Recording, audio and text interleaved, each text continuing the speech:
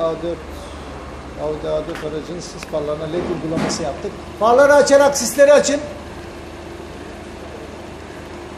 Farları açın önce.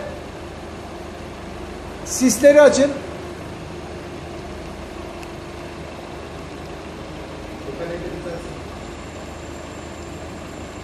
Gayet güzel bir uygulama oldu.